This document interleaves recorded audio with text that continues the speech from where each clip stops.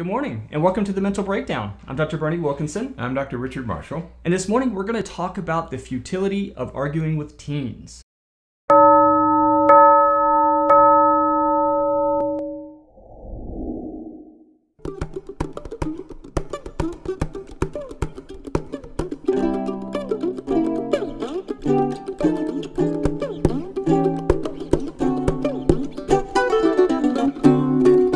Good morning, Richard. Good Friday. Wonderful Friday, a fantastic This Friday. is hump day, isn't fabulous Friday. It's sort of a that's right. I've got a lot of work to do this weekend, Right. so uh, it? It's sort feels like a Wednesday. So, but today we're going to talk about a, a, a frustration that I think every parent, especially parents of teenagers, Parents of teens. uh, experience, and that is the futility of arguing with teenagers. Ah, thank you. Yeah. We need to talk about this. It, it, it's um, it, it's an ever increasing problem. I think. Oh. You know, I the I, I was talking to a, a family the other day, and the mother made a comment. She said, you know, talking to her son, she said, you know, if this was forty or fifty years ago. Um, you probably would have just gotten slapped instead of us having this discussion. That's right. And, and there's a lot of truth to that. Right. You know, in, in previous generations, we didn't maybe have as much uh, as many arguments between parents and teenagers because corporal punishment was something that was so frequently used. Uh, and not reported to. and, and- that's right, and nobody knew about it. Um, We- I, I'm, I am consistently. uh, Speaking of that, this is not not quite off aside. topic, That's but okay. I am consistently surprised by adults I talk, who I talk to who say that when they were kids and teenagers, they couldn't dress out in PE at school because they had marks on them, and their, their parents would get in trouble. so they just didn't dress So they out. didn't dress out at PE. I'm uh, it, that's that's astounding to me, and it's scary. It's not a. It's not really a laughing matter, but No, But no. let's face it. A generation or two ago, uh, Things were different. things were. Let's just leave it with that. What- Things were very different. My wife was telling me a story. They were at a tennis court, and there was a girl on the court, and she swore. She's made some little profanity, you know, out of frustration. And the girl's mother said, uh, asked her to stop or something. You shouldn't talk like that. And this guy walked by and said, if that was my daughter, I'd have knocked her teeth out. and I thought, that's another generation. It's It is. another generation. It is. You know. It is. Um, Uh, and I laughed when she told me the story. I just laughed because I could picture some grizzled old guy in his 60s saying, That's my daughter, I knocked her teeth out. and that- was a quick uh, intervention. That's evidence based, That's an evidence based intervention. That's but people right. always say that. I mean, you hear it over and over again that uh, that wouldn't have been tolerated right. when uh, years ago. Um, we just would have been dealt with. And most people say that. My parents would never have put Right. up with that. you Right. know. And, and, and and I think that recognizing, as you sort of alluded, that it, it, that was a very different time. That there were there were lots of things eh, in our society that made you know the, the 50s and, and 60s and even 70s very different than it is today. Right. right. And so those those antiquated methods of parenting just just don't work for the majority of kids because really because our society doesn't handle it the way that it used to. That's right. That's right. It's culture. It's, I mean, remember there was a time, and again, this isn't a laughing matter, matter either, but there was a time when husbands were more or less Allowed. permitted to hit their wives, Right. Mhm. A- and, that was not appropriate, and, and, and has you know thankfully been um, Right. been uh, addressed, or we're continuing to work to address it. Um, but this is the same thing with kids, caning. right? the, the whole concept of caning, which was perfectly acceptable Right. not too long ago Right. in many, many schools. Um, paddling, caning in, in the British school system, caning was routinely done not only for not only for behavior but for academic underachievement. You know, you Right. got caned if you couldn't read or you couldn't write. Um, so.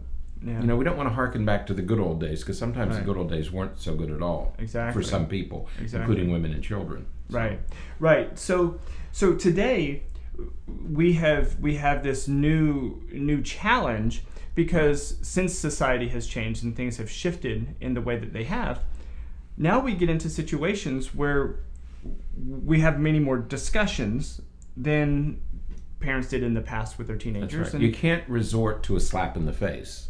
Right. in in today's world, you know, you go to school today with fingerprints across your cheek, Yeah. somebody's going to hear about it. Yeah. Um, 50 years ago, nobody heard about it. Right. I mean, it was No, just- nobody talked about it. Yeah, it was teacher just said, "What'd you do? That what what happened? Why you know why Well- you get that?" And then you know the assumption was you the child did something wrong and Well, deserved it. But let's and let's let's be be honest too.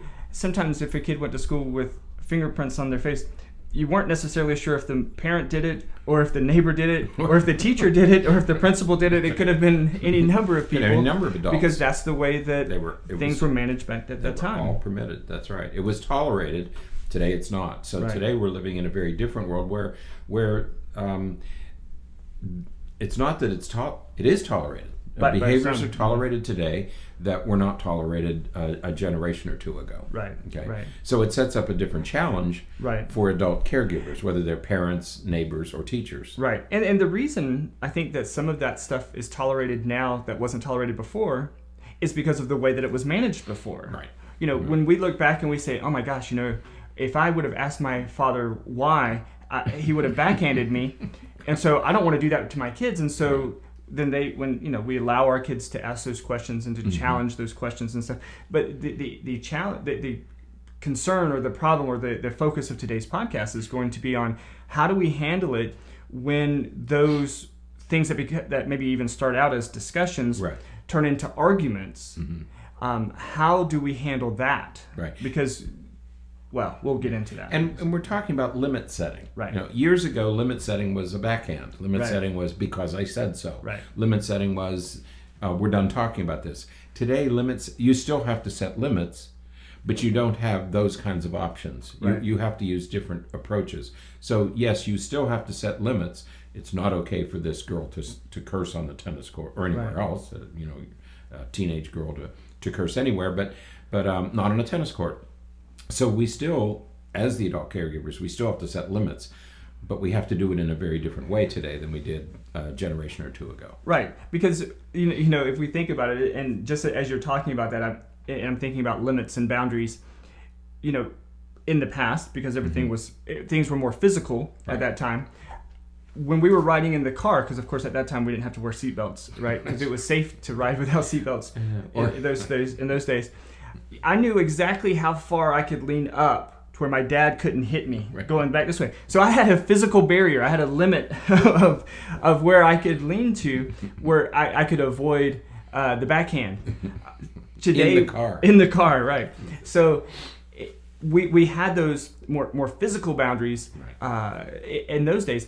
Now we have more uh, cognitive or more thoughtful Right. boundaries that we have to create with our kids as far as wh- how far we're going to go in discussions and how much we're going to debate or or even compromise. I, I- think Mm-hmm. right. compromise is a is a good thing, Right.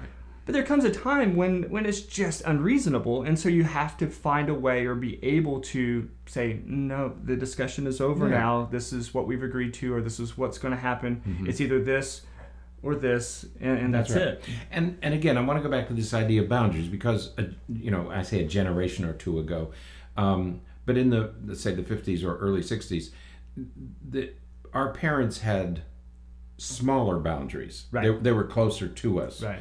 Um, now the boundaries are a little bit bigger. That all that's happened is we've become a little more tolerant. It doesn't mean that you put up with everything. You still have to have boundaries. But the playing field, the way I like to explain it is the playing field today for my children is much larger than it was for me. Right. M- my parents had a smaller corral that we were allowed to phone. We, we played in our neighborhood, okay, because everybody went to the same school, Right. everybody lived in the same neighborhood, so our world was a little bit smaller. Today, it's the entire city Right. because your your classmates come from all over town, okay, and so the the playground, if you will, is a little bit bigger. So Right. the boundaries are a little bit bigger, Right. But the, you still have to maintain boundaries. Right. So so let's. I- I, I guess the, this first part that we're going to to focus on is the, the purpose of arguing, uh, and, and the purpose of arguing it differs depending on which side of the argument you're on. It- If you if you're on the parent side of the argument, Right. the the, the goal here is to um, just to put it very bluntly and very directly is to impose your will uh, upon your child Exactly. you want them to do what you want them to do in the way that you want them to do it Period. End of story. You want to convince them that you're right, Right. and they are, if not wrong, at least misguided. Right. Okay, that I have the wisdom here. I'm right, and you're wrong. Right. That's the parent perspective. That's the parent perspective. Surprisingly, or maybe not so surprisingly, that's almost the same purpose of the cat to teenager side. I was just gonna say. The, the the goal on the teenager side is to be heard, to be uh, validated, to for you to hear their and appreciate what they have to offer to this discussion, And so the and to teen- acknowledge that they might be right too. so the teenager is trying to convince the parent Right. that he or she is correct. That mom, you don't understand what it's like. Mm-hmm. Right. Okay. I'm right on this issue. Mm-hmm. Uh, and so so they argue from the exact same perspective as Right. the parent. The parent is saying, I have the wisdom. The child saying, I have the current wisdom. Right. Yeah. There, there's. I, I saw a wonderful cartoon. Um, I, I think I saw it on Facebook, and there were there was this, two characters were standing there on a sidewalk, and in between them was the number. Uh, was like either a number six or a number nine, and this person over here said it's a six, and this person over here said it's a nine, Right. and it, and and the caption of course was just because we have different answers doesn't mean that one of us is right and one of us is wrong. We're just looking at it from different perspectives. And and i think that that's a, a wonderful view for us to take while we're while we're talking about arguing with teenagers. Because sometimes from the from the worldview that they have they might be correct They might be right. Mm-hmm. but you might be correct also Right. and and, and so this is where I, I think that this is really where we get into those scenarios where, where parents and teenagers argue and argue and argue and, and it doesn't ever get anywhere and, and it's because in, in, in many ways you're both absolutely right Right. or, or at least mostly right Mm-hmm. and, and if you're mostly right why would you back down? But if the teen if, if you're the child or the teenager is mostly right why would he or she back down? Right. Mm-hmm. because if you can't see it from each other's perspectives you're convinced that you're right. Right. and they're wrong. And so i need to explain that in as much many ways as i can. And that's the first the first warning that we want to issue here is that when you get into these arguments, it needn't be who's right and who's wrong. There needn't be a winner. right Okay. And I think that's the first place where we get into trouble that when people begin to argue, they feel that somebody has to win the argument. right Nobody has to win the argument because Right. it might be a six or a nine Right. separating you. Um, so don't enter these things thinking that you have to win. right uh, If a parent thinks that they have to win every argument with a child, it's going to be a very long adolescence for both of you. right So let's take winning and losing out of the equation. Right. So so again, sort of the first reason why we get into those arguments is th- this issue of right and wrong. That that we feel as though we have to impress upon our child that they're wrong and that we're right, and of course the teenagers Nobody wants to do nobody wants to be told you're wrong, Right. I mean, including teenagers. Nobody wants to hear you're wrong. Um, so don't don't go in with that you're wrong. Don't go in with somebody has to win this. Right, right. Now, a- another reason why these arguments perpetuate is is really simply avoidance. You know, if you ask your teenager to do something, and this begins an argument, Right. part of it could be just I just don't really want to do it right now, and so I'm gonna see if there's any way that I can avoid this as long as possible Right. it's time for bed. I don't want to go to bed. Okay, I don't. There's no argument here. Uh, but it's time for. But you know, parents will engage in this battle that really does nothing but serve the purpose that the teenager wants it to serve, which is to delay. Stay up. Stay, yeah, They get to and, and that's usually for younger teenagers. You know, old, older teenagers don't necessarily do that as much, but but certainly, you know, your 12, 13, 14 year olds who still have maybe a, a rigid bedtime Right. um, and all, you know, you, you'll get into those kinds of arguments that just, and and that's of course not restricted to teenagers. Uh, kids Right. do that too, but um, it's, it's an argument that that we allow ourselves to fall into. We But- get drawn into their arguments. Yeah, it's like why? Why are we arguing about that? Right. Right. That's right. Yeah. Why? Why? Why even engage in it? Yeah, and, and so you know what what I recommend to parents and those who experience that is um, you know, uh, it's time. It's time for bed. Well, I don't want to go to bed. Okay, it's still time for bed. I'm gonna go brush my teeth. And Can't change You just bedtime. walk away. Right. There- There's there's no reason to stay engaged. Nine times out of ten, if you just Mm-hmm. okay, well, it's time for bed, and, and I'm gonna go brush my teeth, and you walk away. Within a few a minute or 2 Mm-hmm. they're gonna get up and they're gonna go because okay, there's you know, y- y- of course you have to make sure that you've done all the other preparing for bedtime stuff so they, they don't have the TV on and they don't have their electronic stuff and all that kind of thing. But if if you've already taken care of all of that and now it's just the actually time to get in bed, Mm-hmm. you know, there's why argue? Why fight? Just okay. Well, the parents would say because he has to go to bed Mm-hmm. Right. Okay. He'll go to bed. eventually. So what you're saying is, don't allow that to become an argument. Right. An argument is a different, Exactly. and I think that's what that's what we're that we want to say here is that we understand parents saying no, he has to go to bed, he has to go to sleep. We understand that. What we're saying is, going to bed and having an argument are two different things. So those are two different things. Right. And, and Separate having, those two things. Having an argument is going to do two things. It's a, re- uh, using this example with bedtime, it's going to do two things. One, it's going to delay the time to get to bed. That's right. Because now we're The going to be argument- arguing. Right. The second That's thing the is surest way to extend the bedtime. Right. Is to have it to add an argument. so the, so we've now extended bedtime, say 15 minutes, or however long the or argument- however long the argument takes. But now, because we've been arguing, mm, Mhm. we've got some testosterone going, we've got some energy going, arousal is up. right? Mm-hmm. And so now the time in which it's going to take to get to sleep Right. is longer. Okay. And so you have, in essence, extended by getting by engaging in this argument. You've now extended actually going to sleep time, which is more important than bedtime. Right, How long? right. When? What? What time do you go to sleep? And how well you're going to sleep. right. You've extended that at least thirty minutes, if not an hour, That's right. by getting into this argument. That's right. Because you've already the argument. The reason we separate the two, uh, bedtime and arguing, is that the argument um, does a couple of things. Number one, it extends everything. It disrupts sleep hygiene. right. It disrupts the sleep process. What should you be doing at night? You should be disengaging. Right. You should Relaxing. be coming down. You should be relaxing. You should be getting ready to go to sleep. And what's the ar- the argument is taking you in the just the opposite direction. Mm-hmm. So it's extending the time. It's extending the bedtime. It's ruining, demolishing the bedtime routine. Right. And then it's going to inter- interfere with your sleep. Okay.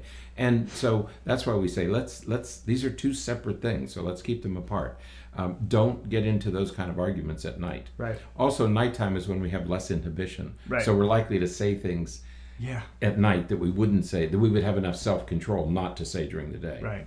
Yeah. So, So be careful of those nighttime arguments. Yeah, so so watch out for those those arguments that that are there just to avoid or delay. You know, take we could use a hundred examples. You know, Right. take the trash out, or Mhm. you know, um, you know, turn off your game. You- there- There's going to be arguments about all those things, and, and you just those those are ones just to avoid, and, and just no, this is it, and and you can be absolute in those. Um, and, and this is that's especially well done when you have that structure already there. Right. When That's you right. when you have a routine, so you can say, "No, dude, it's nine o'clock. Right. Nine o'clock is when we turn everything off and it's time for bed." And that's the advantage of having the routine. When Right. we say to you, you have to have a nighttime routine, because if you don't have a nighttime routine, then this this could happen every night. I mean, Right. Mm-hmm. I don't want to go to bed now. You know, I want to go to bed a half hour from now. Well, if you don't have a set bedtime and a set routine, you kind of open yourself up to Right. these. Uh, Yeah. The possibility of having an argument or a debate or a discussion each night. Right. So So so you your routine, your your schedule Mm-hmm. should include as many things as you can. So okay, so we're we're going to eat dinner. You may not have a specific time for dinner, but the rule is uh, after dinner you take the trash out. Right. Okay, so there's no when dinner's over and you say, "Hey, bud, do you need to take the trash out," and he says, "I don't want to take the trash out." Okay, okay, well that's what we do. That's what we do here. At you know, Right. If you do it So- every night, it becomes a habit. So you can't you, you can't turn your video games on. You can't go do anything else until the trash is taken out. Because without a routine, No argument. That's just how it is. Without those kind of routines, you're you're then doing a directive at a time. Right. You know, take the trash out now, and every day it's different. Right. Okay. Yeah. Uh, maybe it happens, maybe it doesn't, and that's when you invite these kind of arguments and discussions and debates. So Yeah. get set the routines first. Yeah, and, and then you can handle those uh, avoidance Mm-hmm. types of arguments in a much much cleaner way. Right. Makes it much much easier. Now, Mhm. now the third reason in which teenagers will engage in arguments uh, is simply for negotiation purposes. You know, they, they, they will engage you. You will say, okay, you can go out, but you need to be home by 10. Why do I have to be home at 10 o'clock? Right. I'm 16 years old. I should be, my friends can stay out until midnight. Why can't, you know, okay, so we're, we're trying to, i- i- it's a it's a maladaptive way to to negotiate or to have a conversation about you know trying to get something mm-hmm. closer to what you want mm-hmm. and it, it devolves into an argument for unnecessary purposes Right. and again you know these are the, this is a, a scenario where you really just want to have the conversation all right but buddy uh, say buddy bucko um, this is a conversation. This is the way that I encourage folks to, ha- to to do it. I, I I would love to have this conversation with you, but we'll do it when you're calm. Right. When you when when when you don't want to argue about it, when you want to have a real discussion about it, that's when we'll talk about it. But until then, um, this is the this is the rule. This is what's going to be expected. And if the parent is angry Mm-hmm. and defensive and argumentative and testy, you can't then calm your child down. Right. You can only occupy the moral high ground if you're calm. Right. You know, you can't say to your child, I'm not going to discuss this with you Right. when you're in this aroused state or when you're angry. But if the parent is angry, you've lost that Mm-hmm. Right. advantage. Yeah. Okay. So don't don't don't get there. Don't get angry. As tempting as it is, um, we, and we all have that tendency. Don't get angry. You have to model the behavior you want. You want your child to have calm discussions Right. with you. Okay. Well, then you have to be calm. Right. And if you feel yourself starting to get frustrated, by all means say okay this I, I understand that this is really important to you i'm starting to really get frustrated Right. and so i need to pull out for just a for just a little bit i need to wait Exactly. Mm-hmm. just a little bit and we can we can talk about this uh, uh, again in a little while but I, I can't talk about it right now because i'm getting frustrated and it's just not going to work out well for either of us Right. That's right. And- and- Disengage. and have that conversation own, say that own your own emotions Yeah. because you want them to own theirs. Right. Wouldn't it be nice if your child came up to you and said, maybe we better not do this now because I'm really getting angry? Yeah. Wouldn't that be a wonderful thing for a teenager Yeah. to say? Where are they going to learn something like that? You have to model that sort of behavior Right. for them. Okay? Right. So so when you get into these um, circumstances where we're getting into arguments and we're it's a negotiation, you know, again, calm yourself, encourage them to remain calm, and, and have a system in place for your family to handle negotiations. Typically, typically, if you are a family that encourages discussions like that, Right. it tends to go well. It does. It, t- Right. it tends to go it tends to go nicely because your child knows, Mm-hmm. okay, mom is a reasonable person. and if I present a reasonable argument, she's probably going to accept it. Right, right. And it, but in in the other situation in the other families, Mm-hmm. when negotiation isn't typically allowed, that's when we start getting into major arguments and fights. There's no point asking Right. because it's going to be denied anyway. Right. So then they go out and hope that they don't get caught. Right, and that's when you're, exactly that's when we get into the. Uh, it's better to ask for forgiveness than Right. it is to ask for permission That's because they know that asking for permission means the means no. They're probably going to be denied. Right. Right. And so why why even ask? Let's just do it. Uh, And it's so easy. Let's say it. You know, let's face it. As teenagers mature, you know, from puberty to 13 to 14 to 15 to 16, they're constantly asking us to do a little bit more. Okay, they're constantly pushing the envelope. It's a, it's normal. It's natural. You know, curfew was at nine o'clock, and now they wanted to go to 10 o'clock, and then they wanted to go to 12 o'clock. And you remember, they have friends and associates who have no curfews. Right. And so this doesn't seem so abnormal to them as it does to us. Right. Okay. Well, everybody else, we know everybody isn't doing it, but some kids are doing it. Right. And some kids are allowed to be up at two or three o'clock in the morning texting their friends. So y- your kids are right. Other people are doing it. Not everybody, but other people are doing it. And so we have to give them the opportunity Right. um, to to discuss, to push it out a little bit. Right. All you have to do is do a couple of trials. You know, let's say your child says, "Well, I want to stay out until 10." Give her the opportunity to stay out. Right. See how it goes. If it goes well, you can do it again. That's a win-win. and- if it doesn't go well, dial it back. and, and it's and it's easy to it's easy to uh, figure out how and when to do that. So, say your daughter is going to go with her friends to the movies. Right. Okay. The movie starts. Uh, we'll just use round numbers. Say the movie starts at eight o'clock Mm-hmm. and is over at nine thirty. Okay. And so you say, okay, we'll come home after the movie, so you should be home by ten o'clock. Well, yeah, I, the reality is, is that sometimes after the movie, because you can't talk during the movie. Well, you shouldn't be talking during the movie, especially if I'm. I don't like when people talk during the movie, but you shouldn't be talking during the movie. So the reality is, is that when the movie lets out, they're going to need to uh, file out of the theater. They're Right. going to need to go to the restroom. They're going to get outside. And they're going to want to talk about the movie. They're going to want to talk about what they just saw. And so to say, so when your daughter says, um, "Can I just come home at ten thirty instead of ten o'clock?" Well, that's that's not unreasonable, Right. Because they probably want to stay. So allowing and having that conversation, okay, you, you know, yeah, you're probably gonna. I know the movie gets over at nine but you're probably gonna want to talk to your friends a little bit afterwards. Mm-hmm. Right. Okay, you, you come home at ten thirty, Right. and um, you know, then we'll go from there or whatever.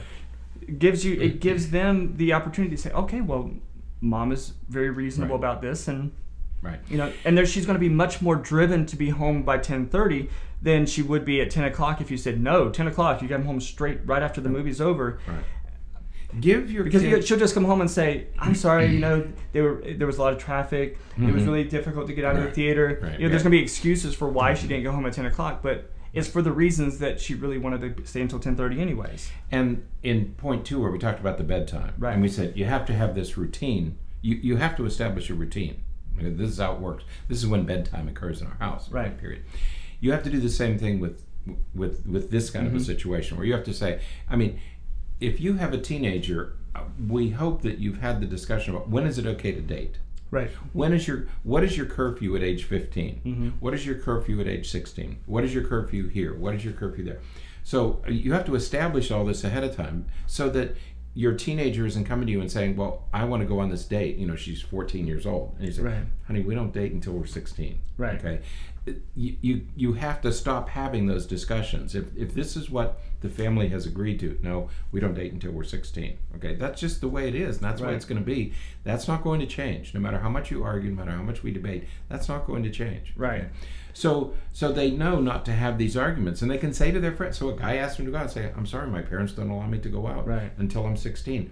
Um, it takes them off the hook. Right. They can use And- the parent as the excuse. and, and it's got to be uh, you know and I, I love that example but but that that that means that the parent has to be consistent with that right. that means that if a really good friend from church their, their son wants to take your daughter to the movies Mm-hmm. and you really like this guy that you can't say hey why don't you go to the movies I'll make with an Steve from-" exception this time. you can't do that. Can't do it. if the rule is 16 then the rule has to be 16 because as soon as you let her do that as soon as you let her go with this guy uh, when she's 14 to, to go to the movies or something a, a- as innocent or as appropriate and okay as it could be as soon as you allow that to happen she's going to come home and say hey this guy at school wants to go to the movies tonight. Can i go? And you say no your argument's going to start right then because well why was it okay for him? Why was it okay for me to go to him? And you, the the argument of well I know him or well mm-hmm. you know because he, goes to our church and so we I know you know I know his family that's only going to take you so far You're saying, I trust me, I don't trust you. Exactly. You know, that's I mean, Exactly. that's the other message that you're giving your teenagers. You're saying, I trust my judgment about your boyfriends. I don't trust your judgment about your boyfriends. right and that that leads to hiding and sneaking and That's when and you're gonna, deceit you're and inviting kinds trouble. of things You're yeah. invite when when you start making exceptions um, like that, Mm-hmm, you begin to have you begin to have trouble. But um, so so set this set the systems get the systems in place. We have a place here in our town. There's a place where kids go to movies, right and it's called a theater and so got him got him and so, how can I continue? So and and everybody has this argument when can I go to the theater by myself? Right. At what age can I go without? Because typically what happens is we go with our kids. Right. We we sit in the same theater, not with them, but Right. but we sit in the same theater. A few rows back. Right. then we allow them to go alone, but we're in the theater somewhere Mhm. else. Okay. Yeah. And we take them there and we take them home. And then there comes that moment where they want to go without us. Right. Okay. At what age does that happen? Right. And in our town, you better set that up ahead of Right. time because you're going to be asked and the Mhm. question's going to come out. And you have to decide when in your family is it okay to go to this theater by yourself. Right. Okay. Um, and and then you avoid the argument of them coming and saying, "Can I go? Can I go? Can I go?" No, it's 14. You can't do that until you're 14. And that's what we've agreed to. Yeah. Yeah. So so having those those boundaries established Mhm. uh, as early as possible is really important. That really helps. You should have a manual, you know, Yeah. the teenage manual. you Yeah. know, this this is when you can go to the theater. This is when you date. This is when you can get your ears pierced. you We need to we need to write one of those. We should do that. Okay. When, when can you get your ears pierced? You know, what at what age can you get your ears pierced? Yeah. You know, I- I'm getting ideas about how we could do that. I All afraid of that. I got an idea. So The other thing you have to remember, you had three points, right? yep. Okay. The other thing you have to remember is that a teenager's brain is different than our brain. Um, a teenage brain is not an adult brain with fewer miles on it. That's what Right. one, one um, neurologist from somewhere I forget where she is now. Um, Jensen is her name. She said she said a teenager's brain is not just an adult brain with fewer miles on it. It's absolutely true. One of the things that teenagers' brains, one of the differences is when information comes into an adult brain, it usually goes to the front. It ends up in the front of your brain first, and then you make a decision when information goes into a teenager's brain, it goes into the emotional structures first. Right. Then it goes Right. to the front to make a decision. So you have to remember that as teenagers are listening to you, all that information is going to the emotional structures of their Mhm. brain first. Right. And they are likely to be more emotional than Right. you simply because of the way the difference in the way our brains work. Absolutely. So keep that in mind that all this information, and it's especially important if you tend to get aroused and angry and frustrated, that frustration is going to go to the emotional parts of their brain and it's going to have a much different effect on them than it does on you. Yeah. So so be mindful that everything's going to their emotional structures first. yeah. So yeah. they're primed to argue. yeah. Yeah. It's just it's just what they do. Right. So- right. And it's not that they're bad, it's just that's where their brains are. Yeah. So so you know with with some of these simple strategies, you know, having the boundaries established, having the, uh, the the rules, the set of expectations clearly articulated, you know, recognizing in yourself when you're getting frustrated and when when things are progressing to the point where you just need to get away. Right. Do, having all that stuff set is Right. going to help you uh, uh, avoid arguments and, and fights and battles that just really lead to nowhere. That's right. And your children want to be able to discuss these things with you. They want to be able to negotiate these things with you. But you have to you have to make sure that they don't become arguments. And and as soon as they do, you have to step away because you don't want to teach them that arguing is the way to settle anything. And don't expect not. them to walk away because they're not No, going to be able to walk they're, not- away. they're going to keep engaged. They're going to chase you. You know, parents Or- say, "Well, I go into the bedroom and he follows me into the bedroom." Yeah, that's right because now you have an argument. Now Right. you have a. Now you're getting into a problem. or, or if they do walk away, they're going to slam the door. right, It's okay. it's all right. Let them slam It's the door. Don't create another argument about that. Let everybody cool off. Don't don't and and so so that will be something that will say, don't make it a rule in your house that mm-hmm. you're not allowed to slam doors. Right. Don't make that rule because that's Someone's going to break it, and it might be the parent. it could be the parent and it it, it, it it happens and then oh well it was an accident. Okay how do you know it wasn't an accident? So now you're going to punish them for something that could have been an accident that they say was an accident but you don't feel was an accident because you're frustrated and you see how that goes and it just leads to nowhere. Yep. so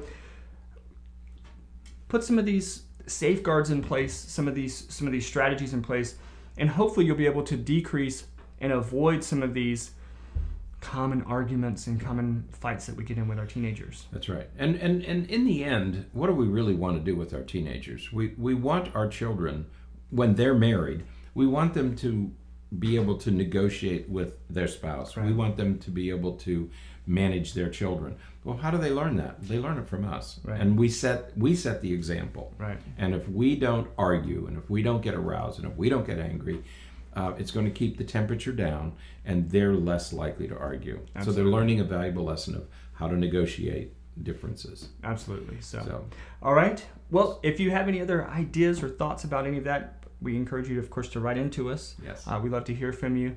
Um, we would also love if you wrote a review or uh, comment on iTunes. Mhm. Uh, always like those kind of comments and um, ratings and all that good Right. stuff.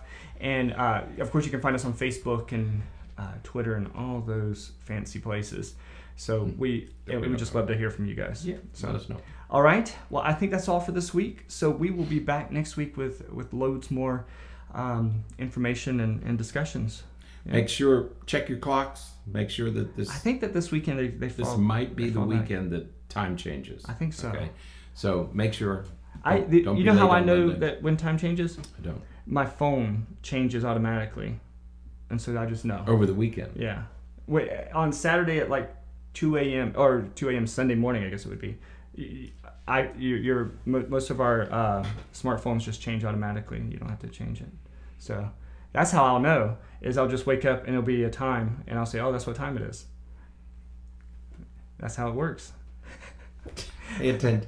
Just find out if this is the weekend. okay? Yeah, check that out because I and then of course uh, Monday's Halloween, so it'll be fun. So all right, have enjoy the weather. Uh, it's wonderful. So get outside and, and do some different things and have a wonderful weekend. Can I say one more thing? Teal pumpkins. Have you heard of that? Teal colored pumpkins? Right. No, Um, you're so fancy. no, it's for some cause. There- There's a there's a thing this year. Teal colored pumpkins. Teal is uh, the color for breast, uh, not breast cancer, um, brain cancer. No, it's not It's that. a brain cancer awareness. There's some other issue that that people are they're becoming to No. awareness. No, teal is, no, it's not. It's not brain cancer. It's it's another kind of cancer. Ovarian teal- cancer. Teal pumpkins. We don't have time. I'm not gonna look at it. Okay. Anyway, there there is this thing about teal pumpkins. Find out what You that's see, about. you see, this It's- is what I work with. It's an aware. No, it's an it's it's a good thing. It's a positive thing. Is it? And I meant to mention, I forgot, and um, but there's a whole thing about teal pumpkins this year. Um, it's some cause that's I think I was uh, it seemed worthwhile. Have you seen some of them? No, I saw a picture of one. Go to Google and look up teal pumpkins. We're doing this on the podcast. This is fantastic. Teal. We're googling. That's that verb. Uh, teal pumpkins. Googling it. Um, teal colored pumpkins. Right, Well, and it's some. there, look at. See, I just typed right in. up, right? I just typed in teal, and pu- teal pumpkin was the first thing. Um, the teal pumpkin project. Um, Right. Food allergy research and education. Food allergies. That's what it was. I would have never. It's guessed. about food allergies. Oh, that Right. thing's ugly. And they're coming at they're, it's coming at Halloween because kids have peanut allergies or different allergies to different foods, and so we want to make we're going to remind people that uh, some kids have food allergies. So it's it's about yeah, it's about. Food what do you just paint it teal? I think you just paint. yeah, Oh. they paint them teal. they didn't Mhm. like genetically modify No, a pumpkin no, to make no, it teal. They're painted. They're painted uh, My teal. goodness. Yeah. So you might see teal pumpkins out there this year. That's interesting. Um, about and it's about food allergies. So again, be mindful uh, and and keep your kids safe. Yeah, absolutely. We need to come up with something. Uh, purple pumpkins. All right, we will Yeah. see you guys next week. Have a good weekend. have a great one. And to be afraid.